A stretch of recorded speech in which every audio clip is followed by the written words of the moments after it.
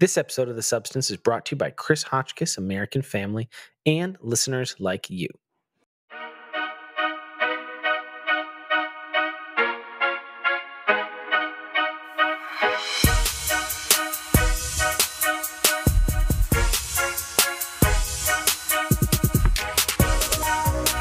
On The Substance, a podcast aimed at being biblical, thoughtful, and human. Join us each week as we engage the culture without the culture war. I'm your host, Vincent Edwards, joined here by my friends and co hosts, my boys, my homies, Philip Marinello Hey, everybody. and Trevor Aiken. What's going on? How y'all doing tonight? How y'all feeling? What's Feeling up? all right. I'm feeling better now. I was like, oh man, like I was getting ready for this tonight. I was like, I feel like garbage, but last 20 minutes or so, I got a Sometimes nice, it's just a day. Sometimes I Sometimes got a it's nice just a little uh, pep, so I'm ready. maybe Awesome. maybe someone's coming listening here and, and it's been a day for them. And if so, you're welcome here. Come hang out with us. Absolutely. So, if you are a returning guest, we want to say welcome back. Um, if you're a new guest, we want to say welcome. Uh, the Substance is a Christian variety show, and every week we talk for about an hour about something or a number of things in Christianity, culture, and the arts. At the end, we share some shout outs of things we or our guests have been finding enjoyable or edifying. So, we welcome you to the show. Um, as you've clicked on this episode, we have on today a very special guest, uh, Dr. Felicia Wu Song. She is a professor of sociology at Westmont College in Santa Barbara, California, and interim chair of the sociology and anthropology department. She is a writer, a speaker, mother of two, and last but not least, uh, she is an author, including her most recent book, uh, just released November 2021 um, with IVP called Restless Devices Recovering Personhood, Presence, and Place in the Digital Age. Welcome, Felicia, to the show. Thank you. It's so great to be with you all. That's quite a resume. What What did you say? She was chair of anthropology. What? Sociology and Anthropology Department. Social- Man, that's that's giving us like a nice little bump of prestige right there. I like it. Yeah, it, it's interim. It's okay. I was chair before. I'm filling in for a colleague right now, but yeah, I got you. well, we're very happy to have you, Felicia. thanks. thanks. Absolutely. It's really great to be with you guys. I've basically been going through this particular book, uh, Restless Devices, with my pastor as we just kind of do some discipleship. So I'm super geeked to have you on. Um, and and honestly, I just wanted to start with uh, just asking you about how you came to faith um, and what led you to study the particular subject of the digital age and technology. So I grew up in a Christian home. My parents immigrated from Taiwan, and when they came to the United States, they converted to Christianity. Uh, so by the time I I was born, I was going with them to um, what I've recently learned. Um, there's a word for this. It's called a Chinese Baptist church. So it's an Uh-huh, ethnic yeah. church.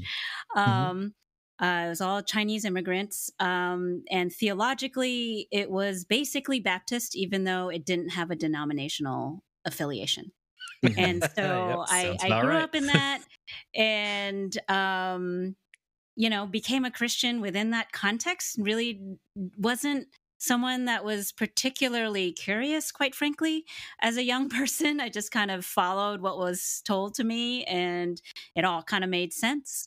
Um, and when I went off to college, I uh, joined InterVarsity uh, Christian Fellowship, which was super great. Um, Nice. I, I just I grew so much and learned so much about the relationships that can be built uh, within Christian fellowship, like genuine Christian fellowship. hmm And it was during college that I actually, uh, through a conversation with um, a friend, learned that one could actually bring one's faith into the classroom. That is, that there would there would be a relation could be a relationship between one's faith and what one thinks about the mind, right? The the intellectual mhm. life. And this was something that was completely foreign to me beforehand. Mm. Like it was Wow. just I had my personal pious faith over here, my classes and thinking about career over there, nothing to do with each other, right?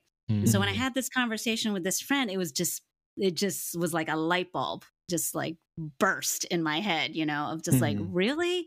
I could start thinking about my classes from a Christian perspective and not just simply feel like the class, because I went to a secular school, is just a threat or was going to, you know, erode my faith. It was going to yes. threaten me, right? Like I was like, whoa, sure, okay, yeah. I can actually start thinking about this. And so right. by the time I left college, I was like a total late bloomer because my brain was racing then. I was like needing to catch up, you know, because I hadn't mm-hmm. been thinking at all um, from a faith perspective. And so after college, I had a job teaching at a private school. I was a history teacher because that's I mm-hmm. studied mm-hmm. history as an undergrad. Um, and while I was there, and this is really going to date me because you guys are like you're you all are young guys, man. Um, it was the first. Yeah, um, it was the first year that at this private school they brought email nice. to the students. Mm-hmm. Okay, so we're in the mid '90s, and it was fascinating to me because we spent a lot of time talking in this private school about relationships and community and then we brought email and we had no conversation about how email was actually going to impact huh. all the ways that we related to each other as mm-hmm. students, as teachers, as dorm mm-hmm. parents, mm-hmm. and so forth. And so that got me thinking. That that struck me as just being kind of strange. I was like, shouldn't we be talking about this? Hmm. Shouldn't we be intentional about wondering like how is email going to change things for us here? Hmm. And so I started wondering about that. I stumbled upon Neil Postman's Amusing Ourselves to Death. Yeah. Um, absolutely. I Classic. Uh, yeah, and, and I was like, wow, there's there's people that write about media, think about this stuff. Um, and I also ended up going to L'Abri Fellowship, um, oh, if you're right. familiar with wow. that, up in yeah. Southborough, Massachusetts, for a term, and mm-hmm. was just in such a, a supportive environment to to have those questions be cultivated right? Um, and so it became clearer during that time that I, I needed to go to grad school. Um, and I wanted to study more about how media and technology has been impacting through American history, right? Our relationships, our sense of community, our experience of identity.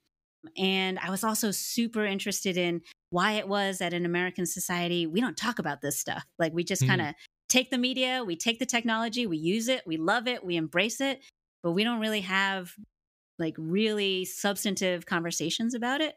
Mm-hmm. Um, until I would say until kind of recently, you know, mm-hmm. um, we've kind of started having more genuine conversations about it between each other. That's kind of my journey. You mentioned uh, Postman. I was going to ask, were there any things that you read in college or around that time that were kind of spurring things on, or is this just natural curiosity like were there other moments or or resources or books that you read that kind of got you thinking or was it just kind of the curiosity of you like your observation of this is having an effect and are we talking about this like how did that kind of go for you yeah i mean it really was it wasn't anything i had really thought about during college um and i think what i was interested in college was how it is that we come to believe and think what we think. Mm-hmm. Um, so as a as a history major, I was mainly interested in intellectual history or cultural history, mm-hmm. right? The mm-hmm. history of ideas. Mm-hmm. Um, I took a 20th century intellectual history class, and that was absolutely fascinating to me. I read a book, and this doesn't have to do with uh, media, but this was one of my most formative books I read George Marsden's book on fundamentalism, um, mm-hmm. and that completely blew my mind um, because it gave me context for understanding my own journey. Yeah. Um, what church I had grown up like, I grew up in a Chinese church. I thought it was only just this group of Chinese immigrants. But when I read Marsden's fundamentalism, I realized, wow, this theology that I grew up with, the culture, the Christian culture I grew up with, is actually rooted in this, you know, 20th century experience, right? That these these Americans had experienced had nothing to do with the culture that I grew up in, right? And mm, and so yeah. that really set the stage for me for thinking about, you know, how do we come to again believe what we believe um, assume that the world, the reality is the way that it is. Um, Mhm. And I, I think it was really at that time when I was teaching at that private school that I became interested in how media and technology do that. Um, it also helped that you two happened to be having their their uh, famous, uh, I think their tour, that tour, um, it was called like Even Better Than the Real Thing or Achtung Baby. It was back then. And they had this great tour that was also interrogating this question of, of reality and how media creates a simulation of reality that we become more interested in. So there are a couple different things there. as you're studying these things about technology and and our acceptance of it is america as a culture do you have any sense of are we more tending to accept and embrace and just be like oh yeah cool new technology yeah whatever that's that obviously is morally good um obviously there's positive value if it's a new technology versus Yeah.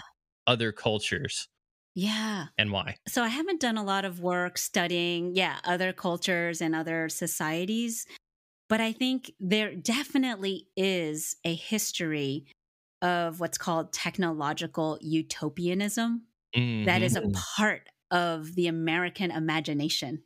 yeah right? and that that is yes. rooted in our our own kind of origin story in this country right yeah like hey Mhm. we're we're the new experiment we're the ones that that don't have the baggage that those old country you know european countries had right Yes. sure london had their industrial revolution and they polluted the thames it's all smoggy over there but look at what we have over here in America, right? We have all Mhm. these natural resources. We're the ones that can kind of like break the code. We can figure out, right, how to bring human progress through technology without all the downsides, right? Mhm. Um, and Mhm. it's, it's just part of that enlightenment imagination of we use reason, we use science, we could figure this out, right? Yeah. And we will we will bring humanity to a better place. wow yeah. That exceptionalism of like we're not going to hit the Yeah. the pratfalls. Like that's not going to be us. Exactly. Right. Look at all those folks. They had those religious wars. We're not going to have those religious wars. We're not going to kill each other over these things. We're beyond that. Yeah. Um, because we're America. We've got we've got the we've got reason, we've got enlightenment, we've got science, we've got democracy. We can we can do this.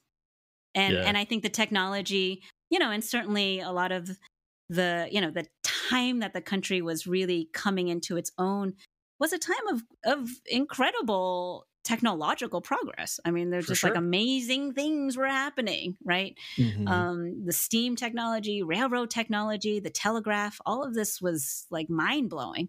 So Yeah. it's understandable, but it's definitely wrapped up, you know, in our American identity, sense of identity, um, and exceptionalism, as you said.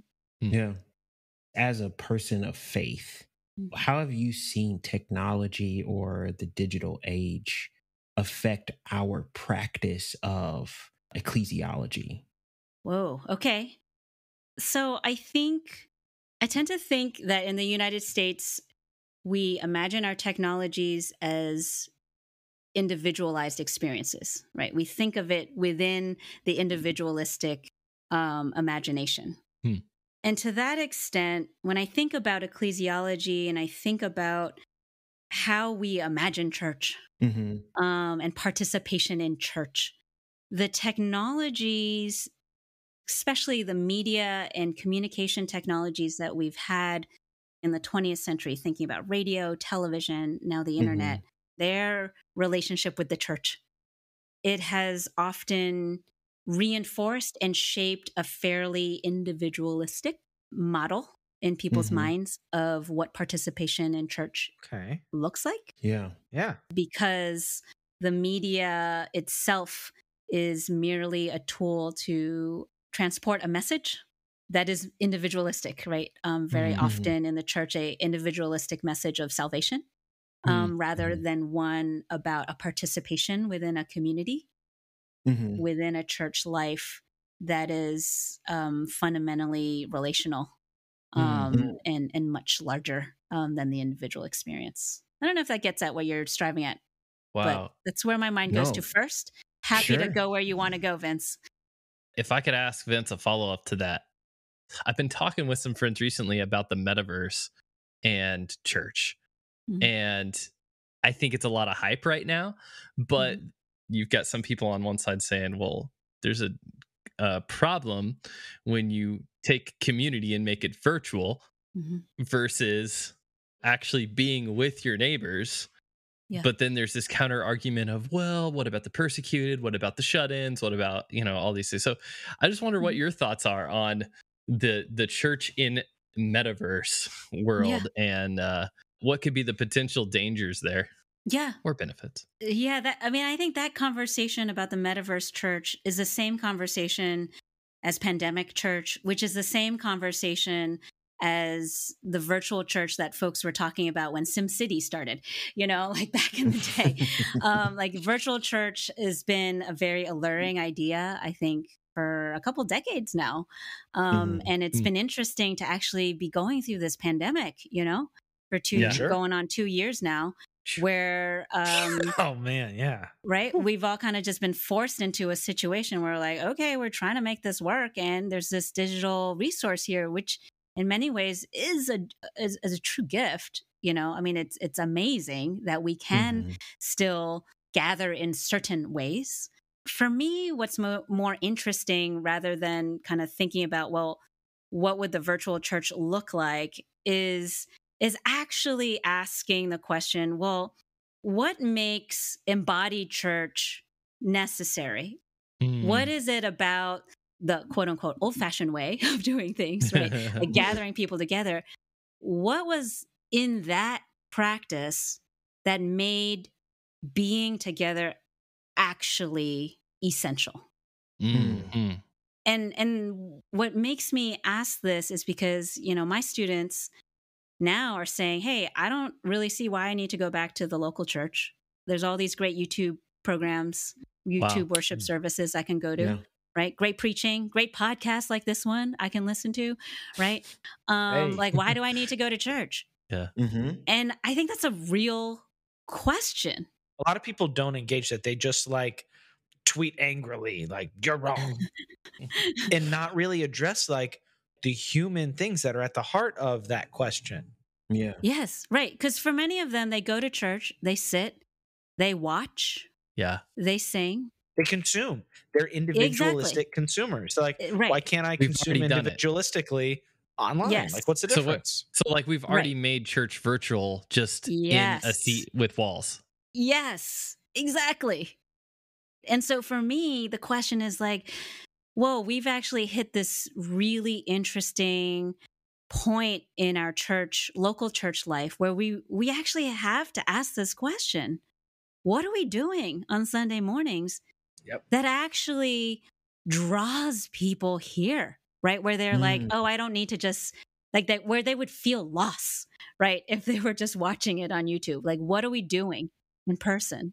Not even just to draw people in to like increase the size, but like to No, be no. faithful. No, no, exactly. I feel like theology of place keeps coming up just Mm, because that's a big issue now that we face. Yes. Partially because of digital ubiquity, partially Yes. because of COVID, partially because of like the identity crisis Mm. that has been brewing, like in especially like the evangelical type church where people are like, well, I believe these things, but like a lot of the other things with the packaging of these churches, I don't really feel like fit me anymore. And Mhm. like I'm not going to go to like a universalist church, so what do I even do? Like if I Mhm. can't find a church who's like whose people I want to associate with, like what do I even do? mhm. Yeah. Yeah. I've I've been hearing about these uh, this new church movement. I don't I can't remember what it's called, but it's these churches that eat together.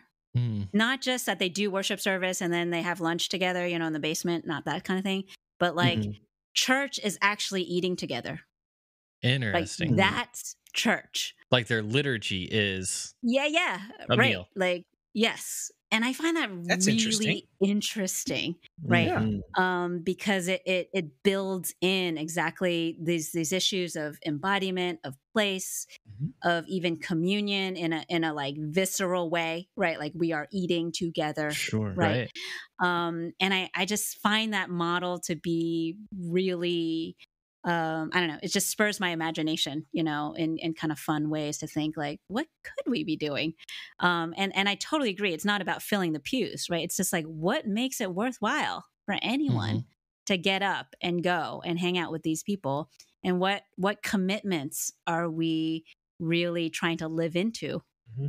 by being a community that would be genuinely invitational? Mhm. that way where, where someone would be like oh i want to go on sunday because it's actually refreshing right Yeah. it's like Yeah. genuinely refreshing after everything i've been through these six days you know Yeah. like i really want to just go to be completely who i am um, and be welcomed there yeah. It's like Acts, you know, where it talks about they all held the community there in high respect. And it Mhm. was like there was Mhm. so many there was a ton of people joining, but there was also the people who didn't dare join, even though they had that high respect and saw it because they knew, oh, well, that's a commitment that I'm just g- yeah, it's things That's will be not where I'm required if I join. Like, I mean, essentially, like there's accountability. Like I have to. My life will have requirements on it. but it Mhm. wasn't Yeah. like, oh, they stayed away because like those folks are whack over there and they're mean to each other. you know? Like that's not what it says. It's there's a high standard. Absolutely. Mhm.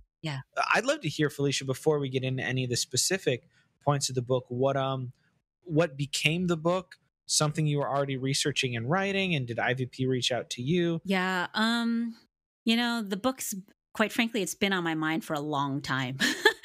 and and and there's ways in which um if I had my druthers, that book would have this book would have come out three years earlier, but life is life. Mm-hmm. Mm. But it's it's just been a burden on my heart, really, mm. to be mm-hmm. bringing the sociology and the theology together. I just felt like there's a combination like there's there's lots of good philosophies of technology theologies of technology books that are out there.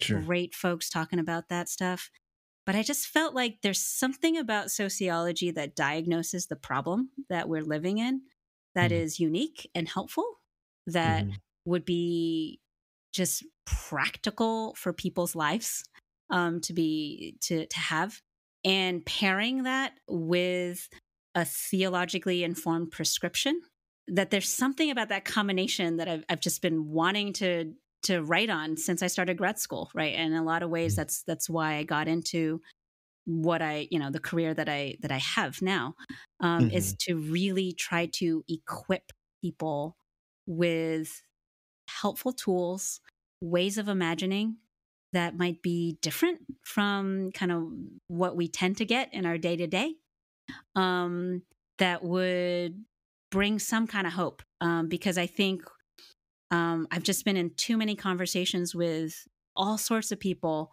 who are just like i don't know how to stop this thing Mhm. my life is Mhm. so deep, so driven by the technological demands. I can't stop. I don't know how to get out of this.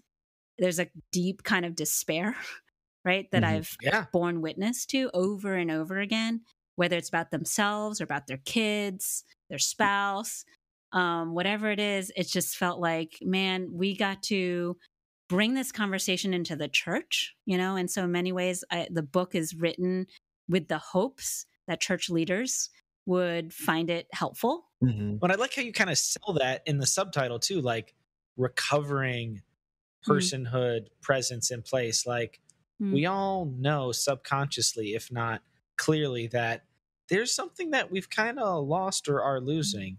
And Mhm. I like how you kind of put that out front Mhm. there. hmm Yeah, IVP was helpful with that one. so, uh, so yeah, they they helped me on the cover and the title. So props to them for all of that. Yeah. Yeah. hmm Another incredible cover. Shout out to the cover designer. I always forget Mhm. his name, but I tag him. IVP is always crushing it with those book Mhm. covers. Yeah, for sure. I, I read in the first chapter that you talk about how we presume that technology's nature Mhm. is neutral or virtually neutral. Like it's just a tool that people use, and if it has a negative effect, then you know that means somebody's using it improperly. hmm Discuss that with us Mm. about how that can be true in some sense, um, but it's also a misunderstanding of technology's nature. hmm Yeah. So I think it's much more helpful and productive to think of technologies as artifacts of society. hmm And and so if we situate it that way, technology is an artifact of society, then we can grab onto the fact that hey, if it's an artifact that means someone built it. Someone created it. And that someone is a human being with particular values, a particular vision of what it means to be human, of what the good life is, hmm that they intentionally or unintentionally designed into that product, that artifact, right? Whether Right. they knew it or not, they embedded just these assumptions Just values. Yeah. about what would Mhm. make life better for someone. Mhm. hmm And that if we understand that, um, then we need to ask, okay, well, well, so who are the producers? Who are the designers? Who are the engineers? What assumptions are they bringing to the table when they created this platform, this device? And then for us as users, I think it's super important to again recognize how we are all embedded in a society that finds meaning through again visions of the good life visions of what it means to be human we use our technologies to build meaning hmm to be productive to Mhm. gain significance whatever it might be That's a big selling point. That's that's how we justify them to ourselves most often. Mhm. right right and so so if we're going to think about well what's the effect of technology i think it's much more productive to actually take into account all these other facets not just the individual user who may be using it for good or for ill right certainly that may be the case but that there are all these other factors in in the production in the ways that even apart from the engineer, you have these corporations, you know, whether it's Facebook or Google, right, that have their goals. They have goals and they have ends mm-hmm. that they're trying to meet um, that are then interfacing with our, you know, in in this society, you know, the the American imagination, the American cultural values um, that are all at play um, when we're when we're using our our devices. Man, that's solid.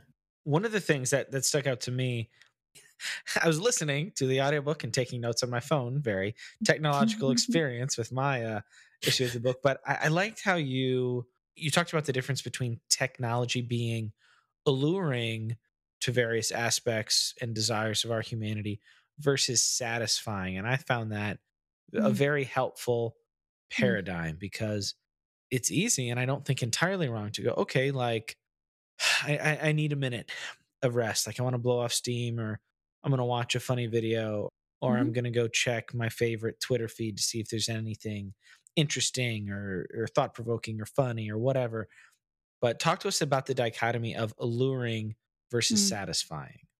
So I think the alluring part of our devices is something that the corporations and businesses that that are promoting these devices and services are all about. This is what they specialize in. They have experts and researchers that understand the psychology. They understand what's going on in our brains. They understand what colors the buttons need to be so that we're going to be like, "Ooh, I want to press that blue button or that red button," right? Mhm. um and and and so they've created these incredibly brilliant platforms that understand these sorts of base appetites and desires that we have as human beings and and how as as one scholar puts it you know social media is like chips you know like we just want to eat the chips just because you know we're feeling Mhm. kind of munchy you know Yeah. we don't even know why we're eating it. We're just like, I want a little munchy. Yeah. And we're not even hungry, really. Sure. Right? We're just like, are just like pounding Just the need chips. to doom scroll right now. That's right. This is Yep. this is nice enough. So I'm here. Yeah. Yeah. Chips, the bag is here. That's right. Right. Um, and so, so the devices and the services are built to to meet those appetites and those desires. Mhm. But the thing is, we all, after we've, especially, we've all had that experience where we spend a whole night you know, just like doing whatever it is that we do, you know, whether it's your gaming or you're shopping for shoes or you're doom scrolling, like whatever your thing is, right? Mm-hmm. And then after those two hours, you're like, I, I, what was I just doing? You know, like, mm. why did I just spend those two hours doing that? I do not know. Yeah. That reminds me of uh, the time of Vine when it's like it's literally just a six second video, yeah. and I catch myself just like, like like three seconds, hours seconds. Oh yeah, on six second videos. That that yeah. broke me. It, it, was, it, was, so convicting. Uh, I didn't mean to cut you off there, but it, no, it no. just reminds me of that yeah. phenomenon of just being able yeah. to watch something, and it's less than a minute. It's literally less than a minute, and it's designed that way. You're like, yeah, it's just a minute. right, Not exactly. Thinking, this is two and a half hours of one minute, but I'm just taking a minute and a minute. Yeah and you convince yourself that it's just i'm just going to watch a couple of videos and they're six seconds so it's not going to take me much time to watch a few videos mm-hmm. and then next thing you know it's evening and it's like yeah. what have i been doing all day yeah yeah and and i think that's where like for me and i don't know exactly if this is a dichotomy you're you were thinking of but i actually i think about how we kind of have like our lesser selves and our better selves you know? Sure. Hmm. and i think of like the lesser self is the self that's gonna just like eat that whole bag of doritos or spend those two hours you know scrolling um on whatever it is.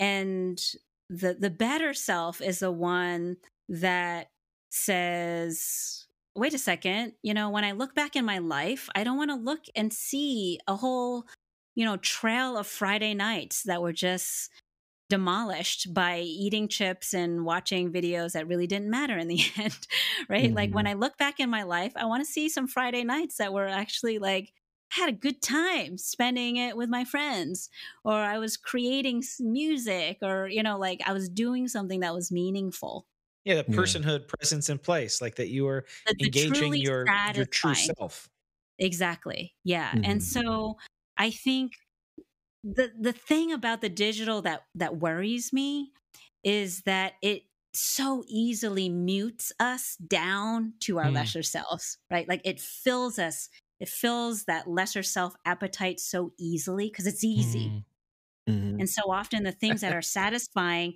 take work you know i mean and work might mm. even just oh, look man. like going over to that side of the room and picking up the guitar and actually playing it right? Yeah. um, instead of just watching videos which is so much easier. Yeah. Um like the the margin is actually very small um like the the work. But i think we all know when we do devote ourselves to the work quote unquote of creating something of actually knocking on someone's door and be like, "Hey, you want to go get coffee?" You know, like mm-hmm. instead of just texting, right? Um, let's go do something together. Um, right. That kind of work leads to something that's that's deeply satisfying um, in a way that we can easily forget. You know, yeah. like we can we can mm-hmm. forget that it's there. I think that's such a good paradigm that you're laying out right there between like the baser self, the more appetite driven self versus the higher value, the pursuit of transcendence, whether that's friendship and, mm-hmm. and other mm-hmm. great things. And this word that you've landed on here of work kind of being mm-hmm. the differentiator, not not that it has to be even that much and not that it's not fun, but but the energy there. And earlier you were mentioning that these artifacts these these technological artifacts that people create are not created in a vacuum but as part of a system. And what i'm thinking about is how 40 years ago techno utopianism like you're talking about it was like everybody's going to have a 20 hour work week and all this stuff.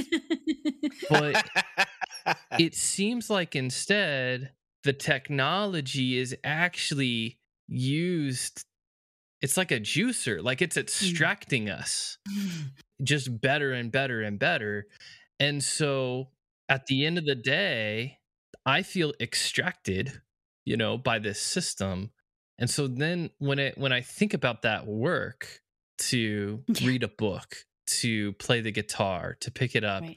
I feel like I've already been so extracted else like through just even Yeah. all of my Yeah, that you're my normal life putting bread on the table whatever. Mhm. it wasn't that it was physical labor necessarily.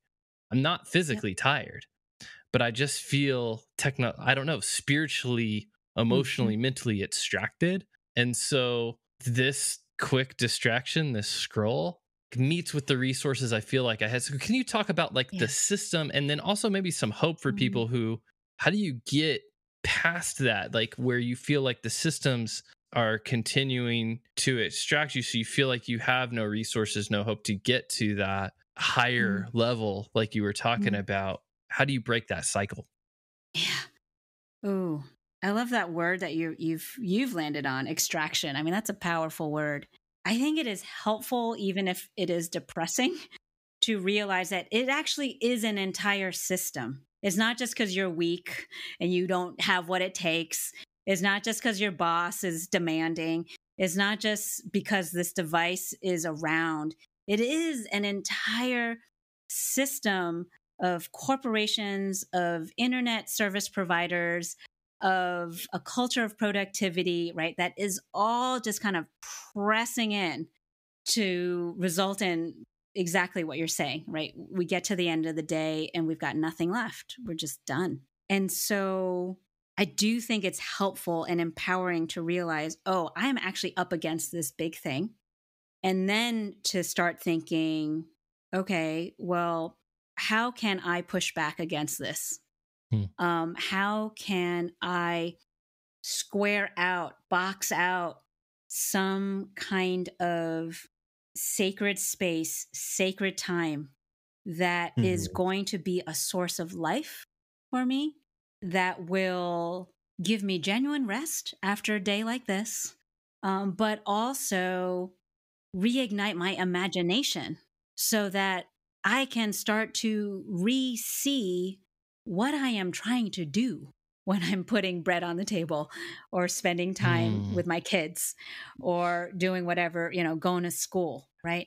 Re see it in such a way that it's not just, um, I call it a tyranny, right? The, a tyranny of the digital where you're just being kind of whipped and, and, you know, kind of driven like I Mhm. just, I'm just driven by my calendar. I'm driven by these alarms that are going off telling me I got to go to my next thing.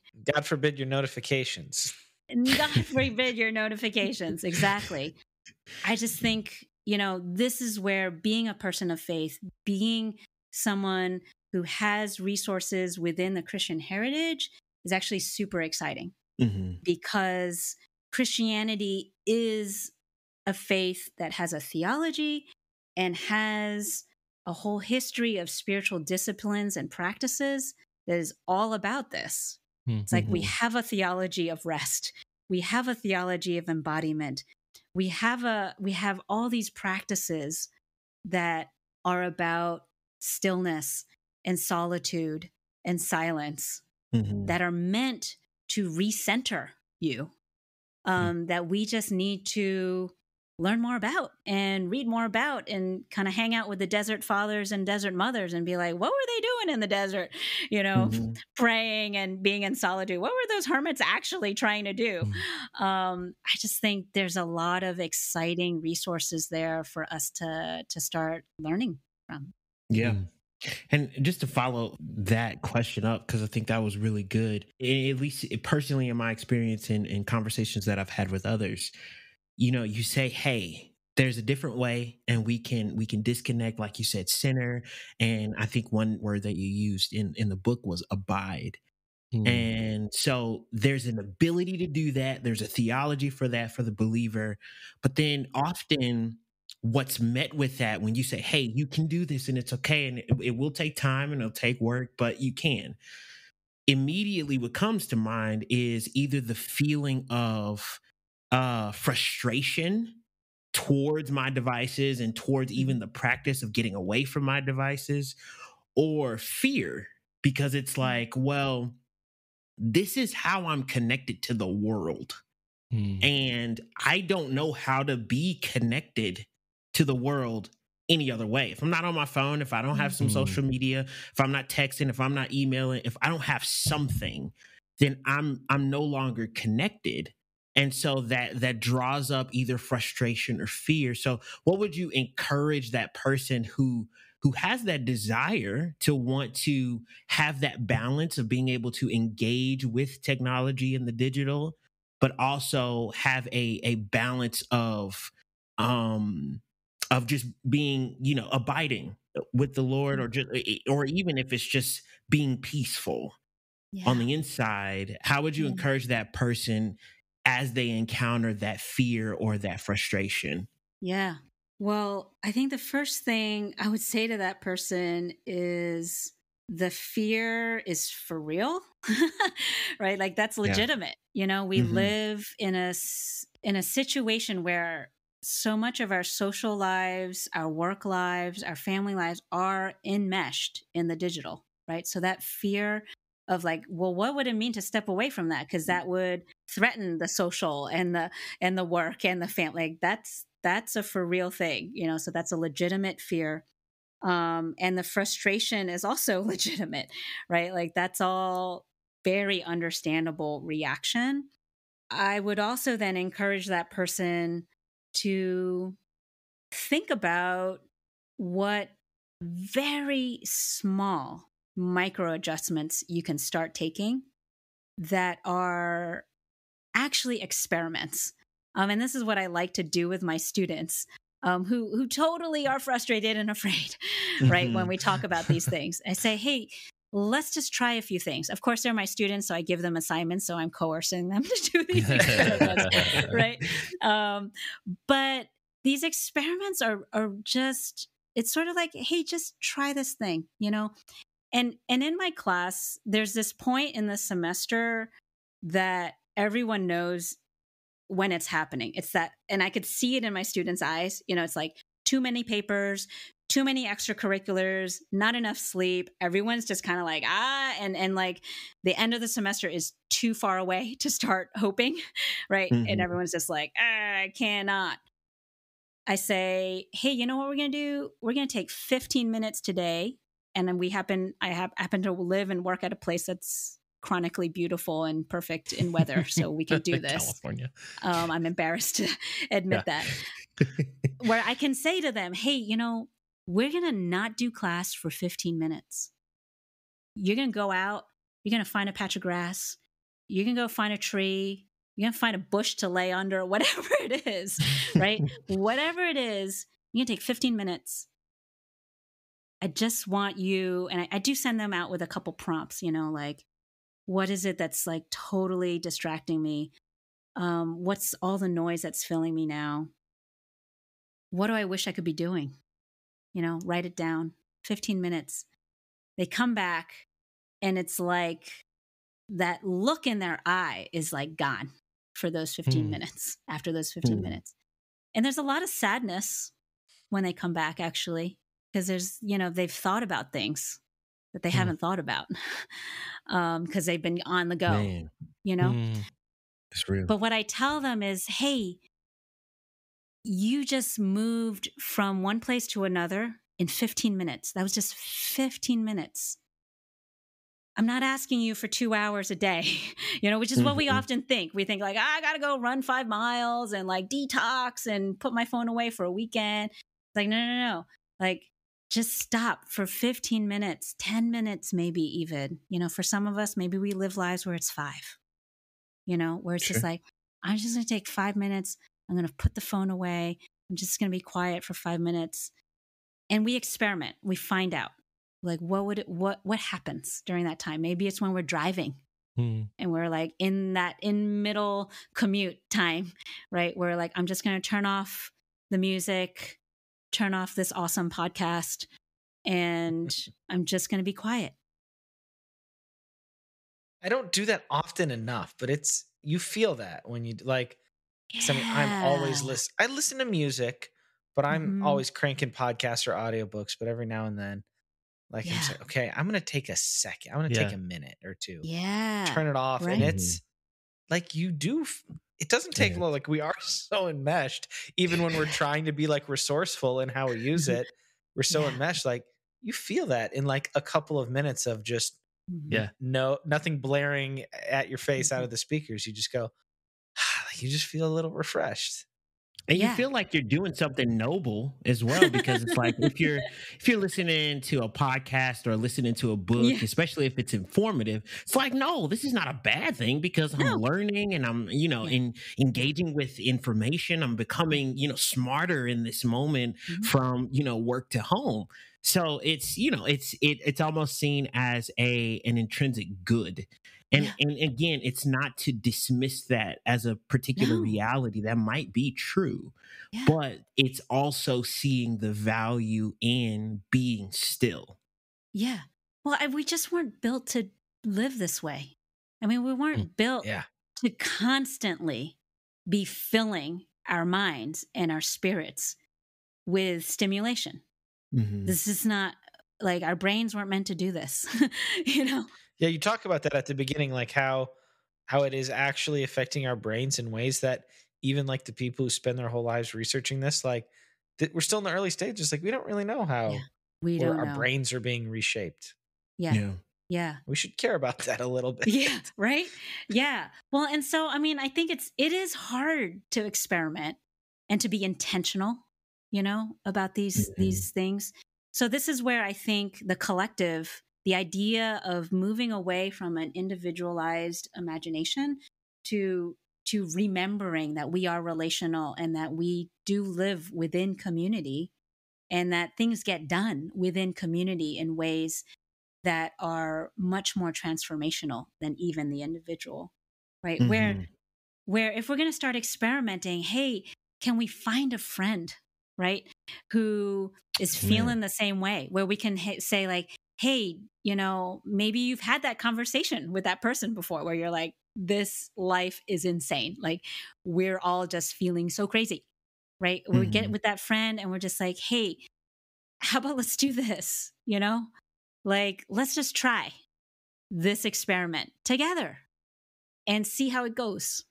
Mhm. and it might even be like hey you know um instead of texting each other let's just try just for this couple days what would it be like if we actually dialed the phone and right like clicked like we're just gonna actually hear each other's voices you know? Just Yeah. for let's just see what happens you know? We're not committing to some long-term 30-day plan. We're not you know let's, let's just see what happens.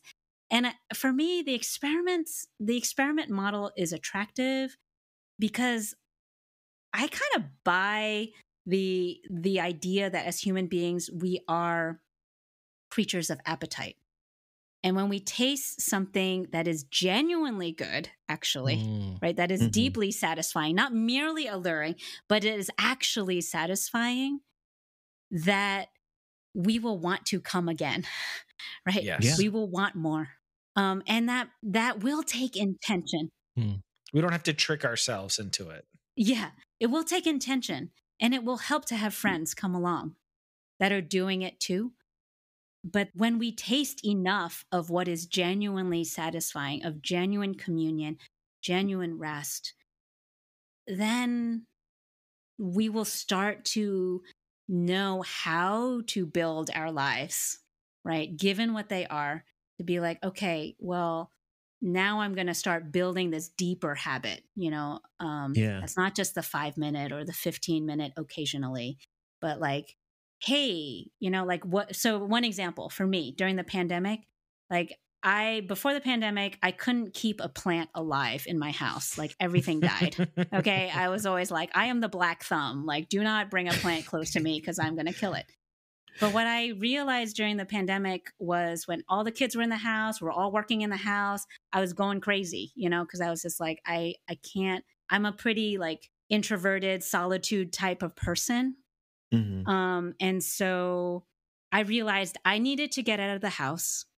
and I started gardening. And it was Hmm. really cool because there was a group of people that were gardening at the college. The, gar- the college had a plot that needed tending.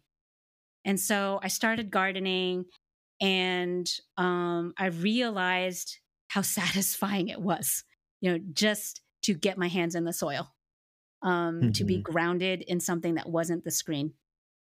And once it was satisfying, I was like, all right, I'm committing to this. Like, this is good. Like, this is good stuff.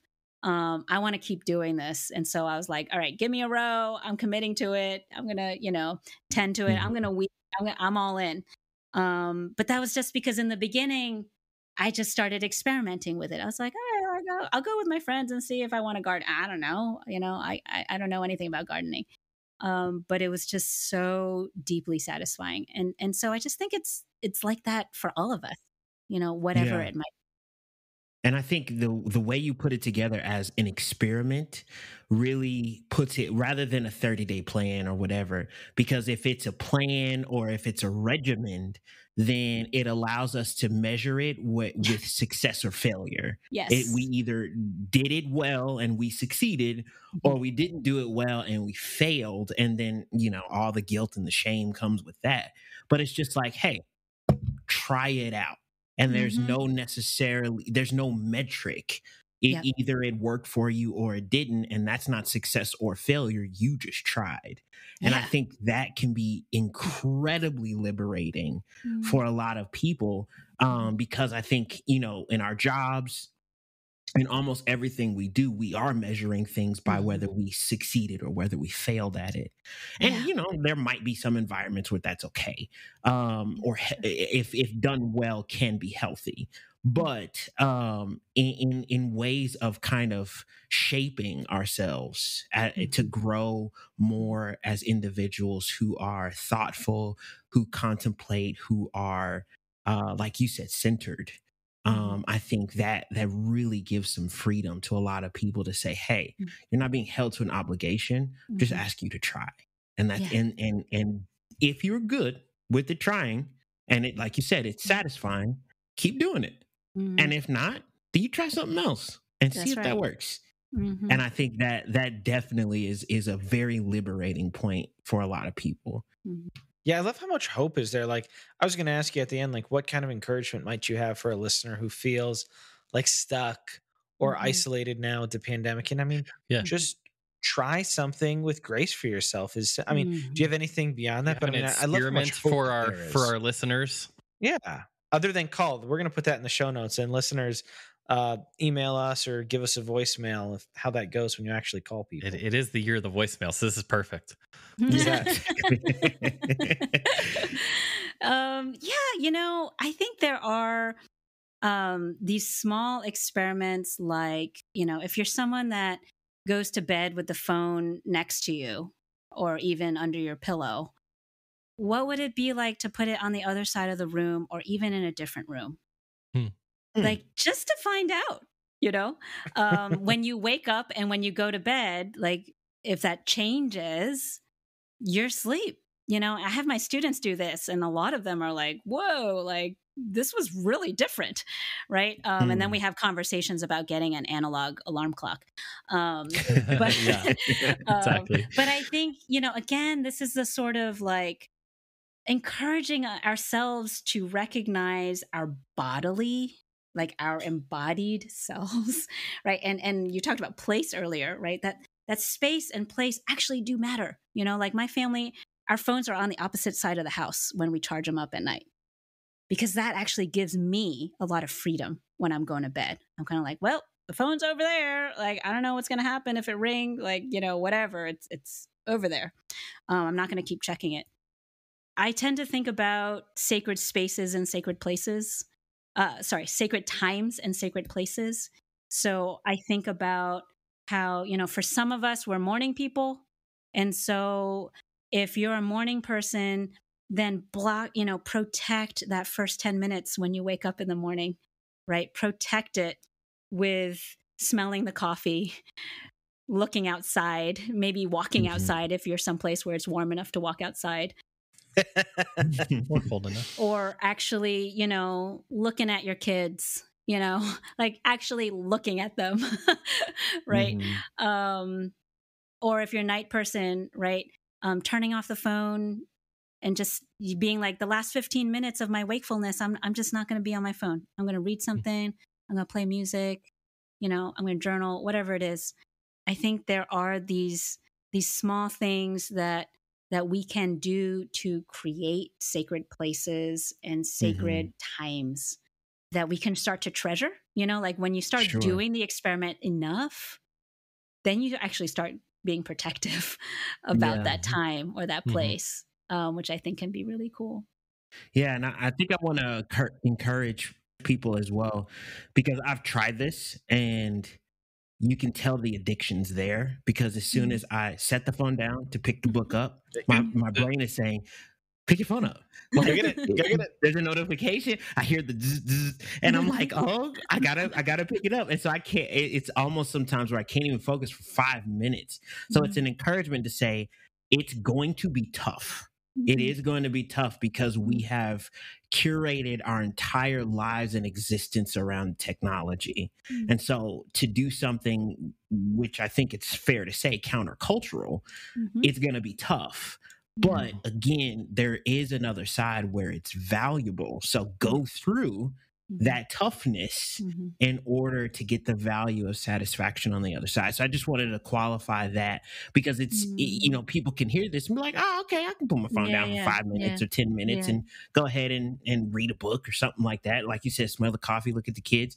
But then you start doing that and you feel that aching, Yeah. that itching like oh yeah "Oh, I don't have my phone on me like I'm I, I think I'm naked or something. You know what I mean? Because it's just Yeah. like I, I'm so tethered to it.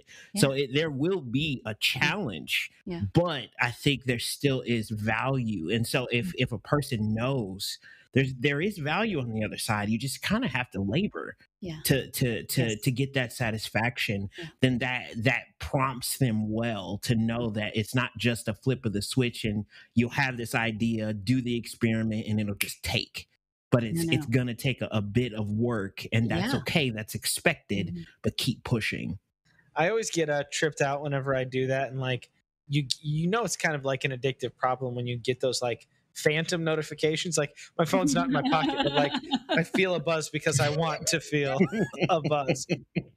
That's when it's crazy. I was gonna say, um, I was kind of like half-heartedly trying to do that um, at meal times, but in the last week or so, listening to the book, I have been more purposeful. Like sometimes like turning them off, but sometimes like just getting them away from the table, and it's I, I definitely have noticed more like uh, Mm.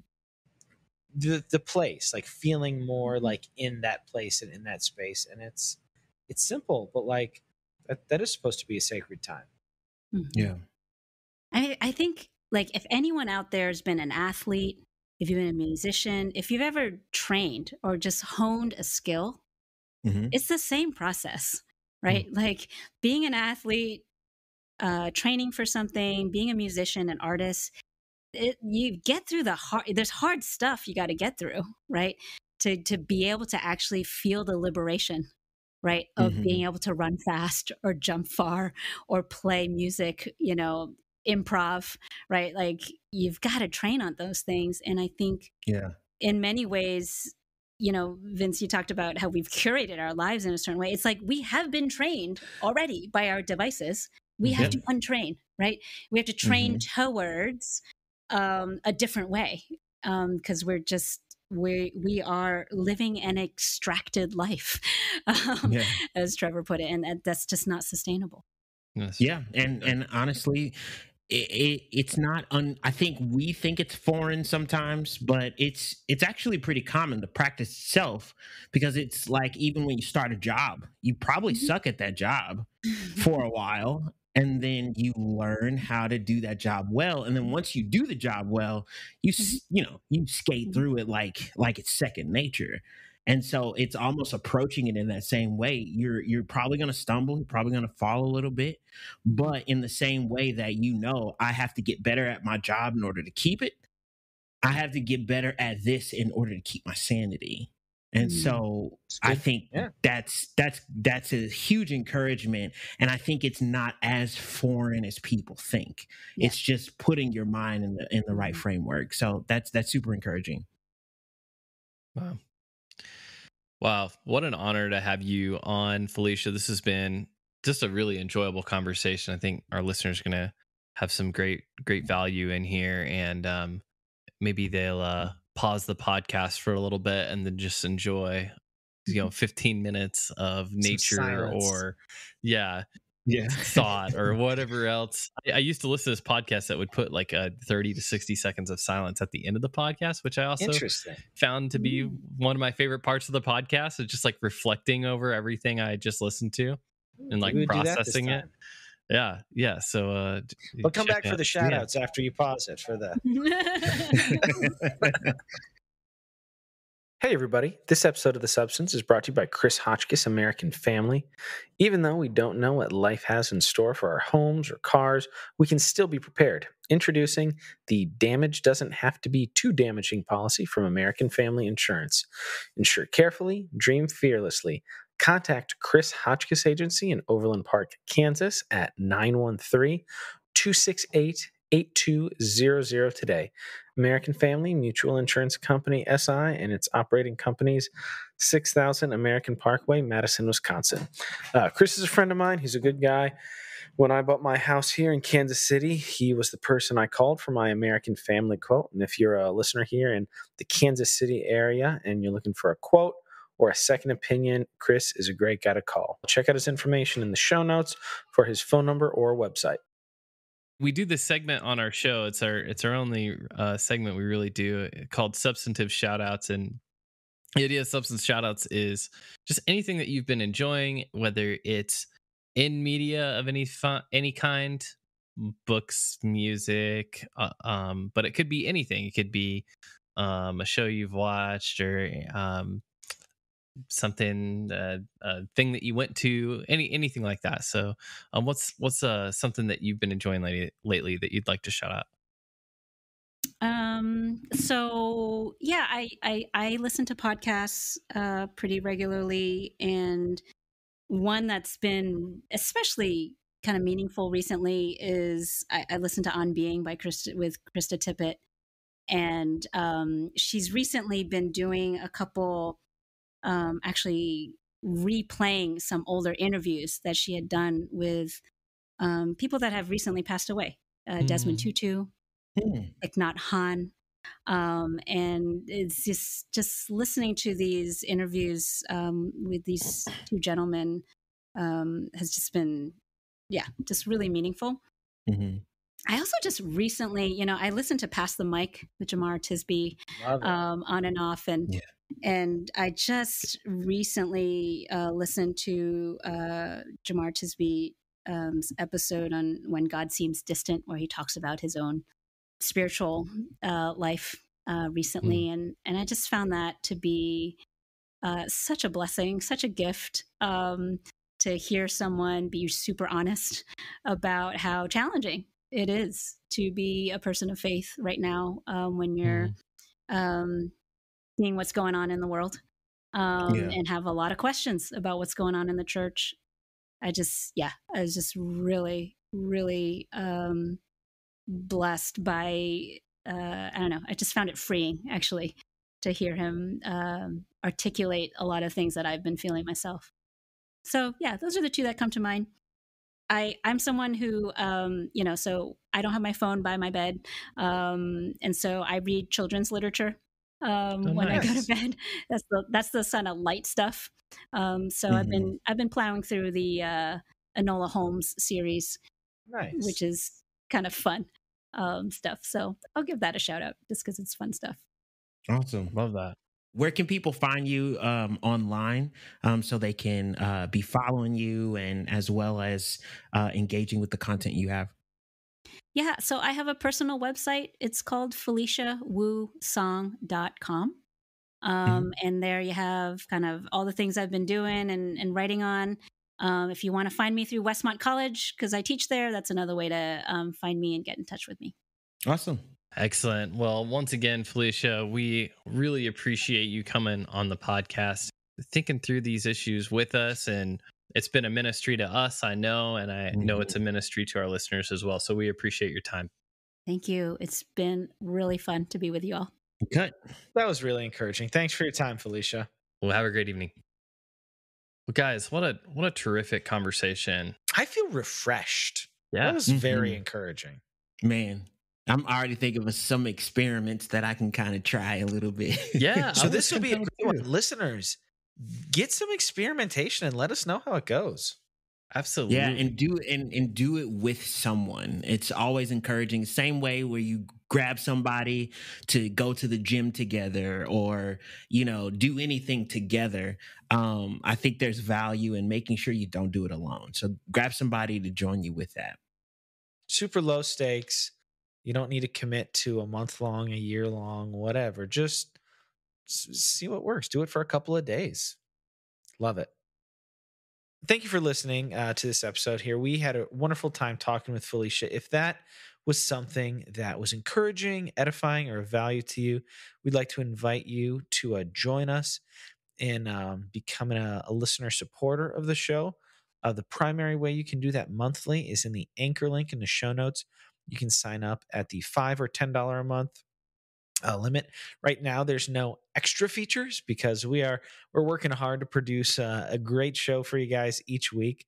Mhm. Um, but you, you're helping us grow. We now have a website because of you guys. Thank you, and um, we are working. We we want it to be excellent. Merch will be coming at some point, but uh, we're the listener support is helping us do these things.